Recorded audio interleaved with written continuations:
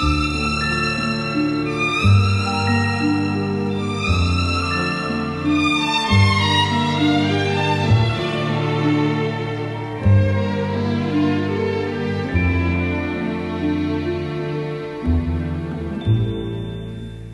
encore, j'avais vingt ans, je caressais le temps et jouais de la vie comme on joue de l'amour et je vivais la nuit sans compter sur mes jours qui fuyaient dans le temps.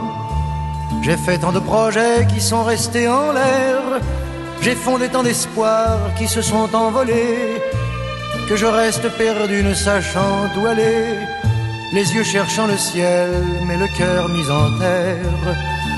Hier encore, j'avais vingt ans, je gaspillais le temps en croyant l'arrêter et pour le retenir, même le devancer.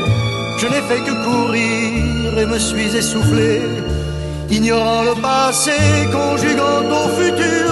Je précédais de moi toute conversation et donnais mon avis que je voulais le bon pour critiquer le monde avec des involtures. Hier encore, j'avais vingt ans, mais j'ai perdu mon temps à faire des